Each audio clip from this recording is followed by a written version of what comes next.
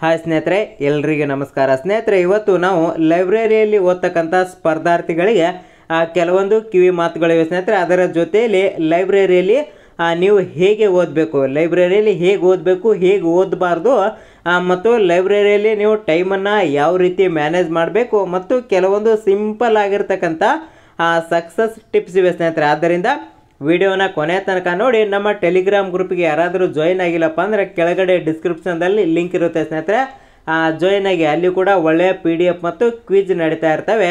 Join ಆಗೋದನ್ನು ಮರಿಬೇಡಿ ಸ್ನೇಹಿತರೆ. ಎಸ್ ಸ್ನೇಹಿತರೆ, ಮೊದಲನೇದಾಗಿ ನಾವು ಲೈಬ್ರರಿಯಲ್ಲಿ ಹೇಗೆ ಓದಬೇಕು ಅಂತಕ್ಕಂಥದ್ದನ್ನು ತಿಳಿದುಕೊಳ್ಳೋಣ ಸ್ನೇಹಿತರೆ. ನೀವು ಬೆಳಗ್ಗೆ ಲೈಬ್ರರಿಗೆ ಹೋಗುವಾಗ ಪ್ಲ್ಯಾನ್ ಮಾಡಿ ಹೋಗಿ ಸ್ನೇಹಿತರೆ. ಪ್ಲ್ಯಾನ್ ಮಾಡಿ ಹೋಗಿ ನಾನು ಇವತ್ತು ಇಷ್ಟು ಓದಲೇಬೇಕಂತೇಳಿ ಲೈಬ್ರರಿಗೆ ಹೋಗೋದನ್ನು ಸುಮ್ಮನೆ ಹೋಗಬೇಡಿ. ಇಷ್ಟು ನಾನು ಇವತ್ತು ಇಷ್ಟು ಸಬ್ಜೆಕ್ಟನ್ನು ಓದಬೇಕು. ಬೆಳಗ್ಗೆಯಿಂದ ನಾಷ್ಟ ಮಾಡುವವರೆಗೆ ಇಷ್ಟು ಓದಬೇಕು. ನಾಷ್ಟ ಮಾಡಿದ್ದಿಂದ ಊಟಕ್ಕೆ ಬಿಡುವಷ್ಟರಲ್ಲಿ ಇಷ್ಟು ಓದಬೇಕು. ಆ ಒಟ್ಟಿನಲ್ಲಿ ಕರೆಕ್ಟಾಗಿರ್ತಕ್ಕಂಥ ಟೈಮ್ ಟೇಬಲ್ ಹಾಕ್ಕೊಂಡು ಮತ್ತು ಪ್ಲ್ಯಾನ್ ಹಾಕ್ಕೊಂಡು ಹೋಗಿ ಸ್ನೇಹಿತರೆ ದಿನಕ್ಕೆ. ಇಷ್ಟು ಓದಲೇಬೇಕಂತೇಳಿ ಪ್ಲ್ಯಾನ್ ಹಾಕ್ಕೊಂಡು ಹೋಗಿ ಸುಮ್ಮನೆ ಹೋಗೋದನ್ನು ಹೋಗ್ಬೇಡಿ ಸ್ನೇಹಿತರೆ. ಪ್ಲ್ಯಾನ್ ವೆರಿ ಇಂಪಾರ್ಟೆಂಟ್ ಇನ್ನು ನೆಕ್ಸ್ಟು ಒಂದೇ ಪರೀಕ್ಷೆ, ಒಂದೇ ಪರೀಕ್ಷೆಗೆ ಸಿದ್ಧರಾಗಿ ಈ ಕಡೆ ಪಿ ಸಿಗೂ ಸಿದ್ಧ ಆಗೋದು, ಈ ಕಡೆ ಎಫ್ ಡಿ ಎ ಎಸ್ ಡಿಗೂ ಸಿದ್ಧ ಆಗೋದು. ಈ ರೀತಿ ಮಾಡಬೇಡಿ. ಒಟ್ಟಿನಲ್ಲಿ ಪಿ ಸಿ ಅಂದರೆ ಪಿ ಸಿನೇ ಎಸ್ ಡಿ ಅಂದರೆ ಎಸ್ ಡಿ ಎನೇ ಒಟ್ಟಿನಲ್ಲಿ ಒಂದು ಪರೀಕ್ಷೆ ಸಿದ್ಧಾಗಿ ಎರಡು ದೋಡಿಯಲ್ಲಿ ಕಾಲಿಟ್ರೆ ಸಕ್ಸಸ್ ಕಾಣೋದು ತುಂಬ ಡಿಫ್ರೆಂಟ್ ಆಗಿರ್ತದೆ. ಇನ್ನು ನೆಕ್ಸ್ಟು ದಿನಾಲು ಆರು ಗಂಟೆಯಿಂದ ಎಂಟು ಗಂಟೆ ಓದಿ ಸಾಕು ಸ್ನೇಹಿತರೆ. ಆರು ಗಂಟೆಯಿಂದ ಎಂಟು ಗಂಟೆ ಸ್ಟಡಿ ಸಾಕು. ನೋಡಿ ವೆರಿ ಇಂಪಾರ್ಟೆಂಟ್ ಸುಮ್ಮನೆ ಹೇಳ್ತಾರೆ ಹತ್ತು ಗಂಟೆ, ಹನ್ನೆರಡು ಗಂಟೆ ಇಪ್ಪತ್ನಾಲ್ಕು ಗಂಟೆ, ಈ ರೀತಿ ಯಾರಿಗೂ ಓದೋದಾಗಲ್ಲ ನಿಮಗಂತ ಅಷ್ಟೇ ಅಲ್ಲ ಯಾರಿಗೂ ಕೂಡ ಆಗಲ್ಲ ಕೆಲವೊಬ್ರು ಓದ್ತಾರೆ ಕೆಲವೊಬ್ಬರು ಓದ್ತಾರೆ. ಆದ್ದರಿಂದ ನೀವು ಆರರಿಂದ ಎಂಟು ಗಂಟೆ ಮೊಬೈಲನ್ನು ಬಳಕೆ ತುಂಬ ಕಡಿಮೆ ಮಾಡಿ, ಆರರಿಂದ ಎಂಟು ಗಂಟೆ ಸ್ಟಡಿ ಸಾಕು. ಏನು ನೈಟ್ ಪೂರ್ತಿ ಓದಬೇಡಿ.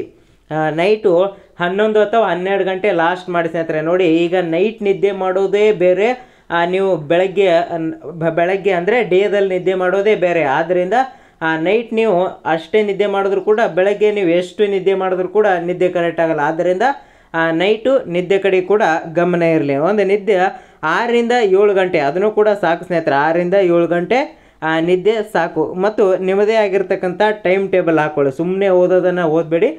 ನಿಮ್ಮದೇ ಆಗಿರ್ತಕ್ಕಂಥ ಒಂದು ಟೈಮ್ ಟೇಬಲನ್ನು ಮೇಂಟೈನ್ ಮಾಡಿ. ಇಷ್ಟು ನೀವು ಲೈಬ್ರರಿಯಲ್ಲಿ ಓದಬೇಕಾಗಿರ್ತಕ್ಕಂಥದ್ದು.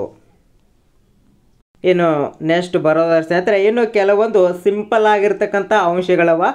ಇವುಗಳನ್ನು ಫಾಲೋ ಮಾಡಿದ್ರೆ ತುಂಬ ಒಳ್ಳೆಯದು. ಸಿಂಪಲ್ ಆಗಿರ್ತಕ್ಕಂಥ ಅಂಶಗಳವ. ಇನ್ನು ಲೈಬ್ರರಿಯಲ್ಲಿ ಯಾವುದೇ ರೀತಿಯ ಫ್ರೆಂಡ್ಸ್ ಬೇಡ. ನೋಡಿ, ಮೊದಲನೇದಾಗಿ ಸ್ನೇಹಿತರೆ, ನೀವು ಇಬ್ಬರು ಜನ, ಅಂದರೆ ಇಬ್ಬರು ಫ್ರೆಂಡ್ಸನ್ನು ಕೂಡಿ ಒಂದೇ ಲೈಬ್ರರಿಗೆ ಅಡ್ಮಿಷನನ್ನು ಮಾಡಲೇಬೇಡಿ.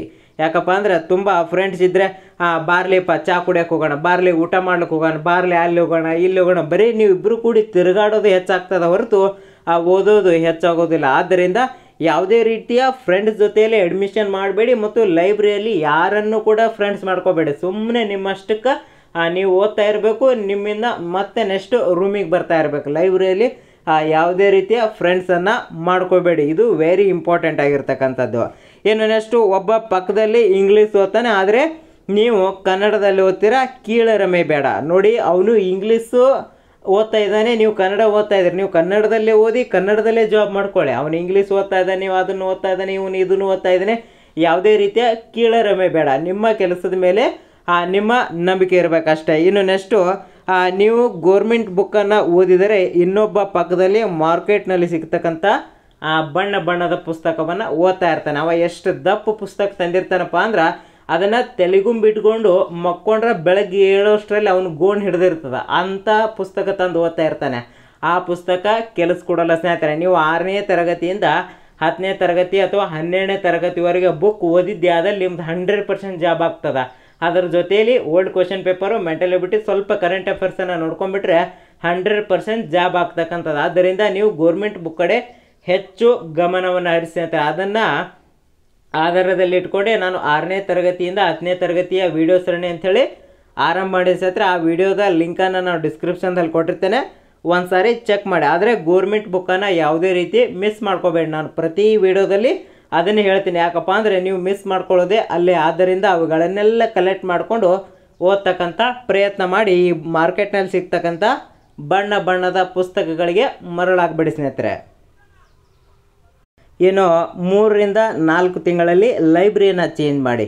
ಆ ಒಂದೇ ಲೈಬ್ರರಿಯಲ್ಲಿ ಕಂಟಿನ್ಯೂ ಮಾಡೋಕ್ಕೆ ಹೋಗ್ಬೇಡ ಸ್ನೇಹಿತರೆ. ಒಂದೇ ಲೈಬ್ರರಿ ಕಂಟಿನ್ಯೂ ಮಾಡೋದರಿಂದ ಬೋರ್ ಆಗ್ತದೆ. ಒಂದೇ ಸ್ಥಳದಲ್ಲಿ ಕೂತ್ ಕೂತು ಆ, ಬೇಜಾರಾಗ್ತದೆ. ಆದ್ದರಿಂದ ಮೂರು ಅಥವಾ ನಾಲ್ಕು ತಿಂಗಳಲ್ಲಿ ಲೈಬ್ರರಿ ಚೇಂಜ್ ಮಾಡಿ. ನಿಮಗೆ ಲೈಬ್ರರಿ ಚೇಂಜ್ ಮಾಡೋಕೆ ಆಗಲಿಲ್ಲ ನನ್ನ ರೂಮಿಗೆ ಮತ್ತು ಲೈಬ್ರರಿ ಕರೆಕ್ಟ್ ಇದೆಯಪ್ಪ ಅಂದರೆ ಕಡೆಗೆ ಆ ಪ್ಲೇಸ್ ಆದರೂ ಚೇಂಜ್ ಮಾಡಿ. ಪ್ಲೇಸ್ ಆದರೂ ವೆರಿ ಇಂಪಾರ್ಟೆಂಟ್ ನೀವು ಚೇಂಜ್ ಮಾಡಲೇಬೇಕು. ಇನ್ನು ಲೈಬ್ರರಿಯಲ್ಲಿ ಮಧ್ಯಾಹ್ನ ಮಲಿಕೊಳ್ಬೇಡಿ ಇದು ಆ, ದರಿದ್ರ ಅಂತಾರೆ ನಮ್ಮ ಕಡೆ ದರಿದ್ರ ಅಂತಾರೆ ಮಧ್ಯಾಹ್ನ ಮಲ್ಕೊಳ್ಳೋದು ಅದಕ್ಕೆ ನೈಟ್ ಪೂರ್ತಿ ಓದಬೇಡಿ. ನೈಟ್ ಎಷ್ಟು ನಿದ್ದೆ ಮಾಡಬೇಕು ಅಷ್ಟು ನಿದ್ದೆ ಮಾಡಿ. ನೀವು ಕರೆಕ್ಟಾಗಿ ನೈಟ್ ನಿದ್ದೆ ಮಾಡಿದ್ರೆ ಅದು ಮಧ್ಯಾಹ್ನ ನಿದ್ದೆ ಬರಲ್ಲ. ಆಗಲೇ ಲೈಬ್ರರಿಯಲ್ಲಿ ಹೋದರೆ ನಿದ್ದೆ ಖಂಡಿತ ಬರ್ತದೆ. ಭಾಳ ಚಂದ ಬರ್ತದೆ ಅಲ್ಲಿ ನಿದ್ದೆ ರೂಮಿಗೆ ಹೋದರೂ ಕೂಡ ಅಷ್ಟು ಚಂದ ನಿದ್ದೆ ಬರಲ್ಲ. ಆದ್ದರಿಂದ ಅಷ್ಟು ಚಂದ ನಿದ್ದೆ ಬರ್ತಾ ಆದರೂ ಕೂಡ ಮನ್ಕೊಳ್ಳೋದನ್ನು ಅವಾಯ್ಡ್ ಮಾಡಿ ನಿಮಗೆ ಮನ್ಕೋಬೇಕು ಅನಿಸಿತ್ತಪ್ಪ ಅಂದ್ರೆ ಅಷ್ಟೇ ಸಿಂಪಲ್ಲಾಗಿ ಒಂದು ಹತ್ತು ನಿಮಿಷ ಮಲ್ಕೋಬೋದು. ಅಂದರೆ ಅಲ್ಲೇ ಟೇಬಲಲ್ಲಿ ಮನಗೋಕೆ ಎಲ್ಲ ವ್ಯವಸ್ಥೆ ಇರ್ತದೆ. ಇನ್ನು ನೆಕ್ಸ್ಟ್ ಲೈಬ್ರರಿಯಲ್ಲಿ ಫ್ರೀ ವೈಫೈ ಇರ್ತದೆ. ಇದರಿಂದ ಫಿಚ್ಚರ್ ನೋಡೋದಾಗಲಿ ಮೊಬೈಲ್ ಬಳಕೆ ಮಾಡೋದಾಗಲಿ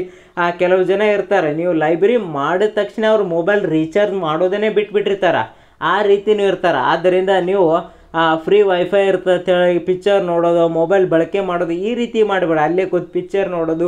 ಆದ್ದರಿಂದ ಏನಾಗ್ತದಪ್ಪ ಅಂದ್ರೆ ನೀನು ಕೆಡೋದಲ್ಲದೆ ಪಕ್ಕದಲ್ಲಿ ಅವನು ಕೂಡ ಕೆಡಿಸಿಡ್ತೀಯ. ಆದ್ದರಿಂದ ಕರೆಕ್ಟ್ ಆಗಿರ್ತಕ್ಕಂಥ ಅಲ್ಲಿ ಫೀಚರ್ ನೋಡೋದು, ಆ ವೈಫೈಯನ್ನು ದುರುಪಯೋಗ ಮಾಡಿಕೊಳ್ಬೇಡಿ ಸ್ನೇಹಿತರೆ. ನೀವು ಎಷ್ಟೋ ನೆಟ್ ಹಾಕಿದ್ರೆ ನಿಮ್ಗೆ, ಆ ನೆಕ್ಸ್ಟ್ ಹೊರಗೆ ಬಂದರೂ ಕೂಡ ನಿಮಗೆ ಎಲ್ಲನೂ ಡಾಟಾ ಸಿಗ್ತದೆ. ಆದ್ದರಿಂದ ಓದು ಸಿಗಲ್ಲ. ಆದ್ದರಿಂದ ಅಲ್ಲಿ ದುಡ್ಡು ಕೊಟ್ಟು ಹೋಗಿರ್ತೀರಿ ನೀವು. ಲೈಬ್ರರಿಯನ್ನು ಸುಮ್ಮನೆ ಹೋಗೋಲ್ಲ. ಐದರಿಂದ ಆರುನೂರು ರೂಪಾಯಿ ಕೊಟ್ಟು ಹೋಗಿರ್ತೀರಿ. ಆದ್ದರಿಂದ ಅಲ್ಲಿ ಕರೆಕ್ಟ್ ಆಗಿರ್ತಕ್ಕಂಥ ಅಧ್ಯಯನ ಮಾಡಿ. ಹಾಗಂತೇಳಿ ನಾನು ದುಡ್ಡು ಕೊಟ್ಟಿನಿ ನಾನು ವೈಫೈ ಯೂಸ್ ಮಾಡ್ತೀನಿ. ಆ ರೀತಿ ಯೋಚನೆ ಮಾಡೋಕ್ಕೆ ಹೋಗ್ಬೇಡಿ ಸ್ನೇಹಿತರೆ. ಏನೋ ಬಾಗ್ಲಲ್ಲಿ ಸೀಟನ್ನು ಹಿಡಿಬೇಡಿ. ಯಾಕಂದರೆ ಏಕಟ ಒಂದು ಹಾಫ್ ಬಾಟ್ಲ್ ನೀರು ತಂದಿರ್ತಾರೆ, ಅರ್ಧ ಲೀಟ್ರದು, ಅದನ್ನು ಹೋಗ್ತಾರೆ, ಬರ್ತಾರೆ. ಹೋಗ್ತಾರೆ, ಬರ್ತಾರೆ. ಯಾಕಪ್ಪ ಅಂದರೆ ಫಿಲ್ಟ್ರ್ ನೀರು ಇರ್ತದಲ್ಲ, ಹೋಗೋದು, ಬರೋದು. ಹೋಗೋದು ಬರೋದು ಅವ್ರ ಮೇಲೆ ನಿಮ್ಮ ನೆದರ್ ಜಾಸ್ತಿ ಬೀಳ್ತದೆ. ಆದ್ದರಿಂದ ಈ ಬಾಗಿಲಲ್ಲಿ ಆ ಸೀಟ್ಗಳನ್ನು ಹಿಡಿಬೇಡ. ಆದಷ್ಟು ಒಳಗೆ ಇಡ್ತಕ್ಕಂಥ ಪ್ರಯತ್ನವನ್ನು ಮಾಡಿ ಸ್ನೇಹಿತರೆ. ಇಷ್ಟು ಸಿಂಪಲ್ ಆಗಿರ್ತಕ್ಕಂಥವು. ಇವುಗಳನ್ನು ಫಾಲೋ ಮಾಡಿ. ಏನು ಕೊನೆಯದಾಗಿ ಸ್ನೇಹಿತರೆ, ಎಲ್ಲ ಯುವಕರಿಗೆ ಕಾಡ್ತಕ್ಕಂಥದ್ದು ಒಂದೇ ಒಂದು. ಇಲ್ಲಿ ಲೈಬ್ರರಿಯಲ್ಲಿ ನೀವು ಗರ್ಲ್ ಫ್ರೆಂಡು, ಬಾಯ್ ಫ್ರೆಂಡ್ ಇರ್ತಾರ? ಆದರೆ ಇದು ನಿಮ್ಮ ವೈಯಕ್ತಿಕ ಜೀವನ, ನಾನು ಇದ್ರ ಬಗ್ಗೆ ಹೇಳಬಾರ್ದು ಅಂದ್ಕೊಂಡಿದ್ದೆ ಸ್ನೇಹಿತರೆ. ಆದರೂ ಕೂಡ ಕೊನೆಯದಾಗಿ ದೊಡ್ಡ ಅಕ್ಷರಲ್ಲಿ ನಿಮಗೆ ತೋರಿಸ್ತಾ ಇದ್ದೇನೆ. ಇದರಿಂದ ನೀವು ಮಾಡಿ ಪರವಾಗಿಲ್ಲ. ನಿಮ್ಮದು ನೀವು ಲವ್ ಮಾಡ್ತಿರೋ, ಏನು ಮಾಡ್ತಿರೋ, ಬೇರೆ ಏನು ಬೇಕಾದ ಮಾಡಿ. ಆದರೆ ಅದು ನಿಮ್ಮ ವೈಯಕ್ತಿಕ, ಅದ್ರ ಬಗ್ಗೆ ನಾನು ಮಾತಾಡೋದಿಲ್ಲ. ಹಾಗಂತೇಳಿ ನಾನು ಬ್ಯಾಡ್ ಅಂದರೆ ನೀವು ಬಿಡಲ್ಲ. ಅದನ್ನು ನನಗೆ ಗೊತ್ತದ. ಆದ್ದರಿಂದ ನೀವಿಬ್ಬರು ಏನು ಮಾಡಿಬಿಡಿ, ಒಂದೇ ಕಡೆ ಲೈಬ್ರರಿಯನ್ನು ಮಾಡಬೇಡಿ. ಒಂದೇ ಕಡೆ ಲೈಬ್ರರಿಯನ್ನು ಮಾಡಿ, ಯಾವುದೋ ಲೈಬ್ರರಿಯ ಯಾವುದೋ ಒಂದು ಮೂಲೆಯಲ್ಲಿ ಸೀಟ್ ಹಿಡಿತೀರಾ, ಆ ಎರಡು ಕಡೆ ಒಂದೇ ಸೀಟ್ ಹಿಡಿತೀರಾ, ಆಮೇಲೆ ಅಲ್ಲೇ ಗುಸು ಪಿಸು ಗುಸು ಪಿಸು ಮಾತಾಡ್ಕೋತ ಕೂತ್ಬಿಡ್ತೀರಾ.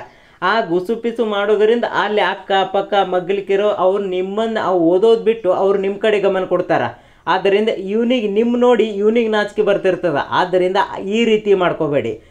ಒಂದೇ ಕಡೆಗೆ ಲೈಬ್ರರಿ ಮಾಡೋದಾಗಲಿ ಗುಸು ಪಿಸು ಮಾತಾಡೋದಾಗಲಿ, ಒಂದೇ ಅಕ್ಕಪಕ್ಕ ಸೀಟ್ ಹಿಡಿಯೋದಾಗಲಿ, ಈ ರೀತಿ ಮಾಡುವ. ಅಲ್ಲಿ ನೀವು ಡಿಸ್ಟರ್ಬ್ ಆಗದೆ ಪಕ್ಕದಲ್ಲಿ ಕೂಡ ಡಿಸ್ಟರ್ಬನ್ನು ಮಾಡ್ತೀರಾ. ಆದರೆ ನಿಮ್ಮ ಗುರಿ ಇಂಪಾರ್ಟೆಂಟ್ ಸ್ನೇಹಿತರೆ, ನೀವು ಇದನ್ನೆಲ್ಲ ಮಾಡಿ ನಿಮಗೆ ಬೇಡ ಅಂತ ಹೇಳೋರು ಯಾರೂ ಇಲ್ಲ.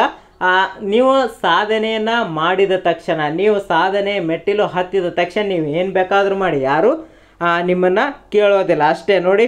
ಇಲ್ಲಿ ರೂಮ್ನಲ್ಲಿ ಕೂಡ ಮೊಬೈಲ್ನಲ್ಲಿ ಇವ್ರು ಏನು ಮಾತಾಡ್ತಾರೆ ಬರೇ ಮತ್ತ ಮತ್ತ ಫೋನಲ್ಲಿ ಮಾತಾಡಿದ್ರೆ ಬರೇ ಮತ್ತ ಮತ್ತ ಅಂತಿರ್ತಾರೆ. ಆದರೆ ಆ ಪಕ್ಕದಲ್ಲಿ ಅವನ ರೂಮ್ನಲ್ಲಿ ಅವ್ನ ಜೊತೆ ಇರ್ತಾನೆ ನೋಡಿ, ಆ ಇವ ಏನು ಮಾತಾಡ್ತಾನೆ ಕೇಳೋದ್ರಲ್ಲಿ ಅವನ ಜೀವನನೇ ಮುಗಿದು ಹೋಗಿರ್ತದ. ಆ ಎಕ್ಸಾಮೇ ಹತ್ತಿರ ಬಂದಿರ್ತ, ಅವನು ಕೂಡ ಓದಿರ್ಲಿ, ಇವ್ ಮಾಡ್ದವಲ್ಲ ಬಿಟ್ಟವಲ್ಲ.